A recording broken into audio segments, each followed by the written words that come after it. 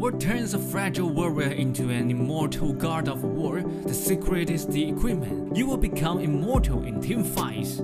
Gilded Greaves, Longinus Spear, Frost Cape, Gaia Standard, Mail of Pain, Odin's Well. Purchase Gilded Greaves at the start of the game to increase your resistance. Choose Longinus Spear as the first piece to increase your damage.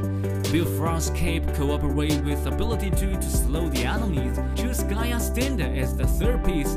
Heroes with this equipment can restore their HP when taking damage. This may Amily more powerful in team fights. Now the equipment of the reborn new Amily is basically formed. Then build Mail of Pain to increase Amily's survivability. The last piece is Odin's Will, which grants Amily movement speed and damage bonus when he takes damage, so it shoots Amily a lot.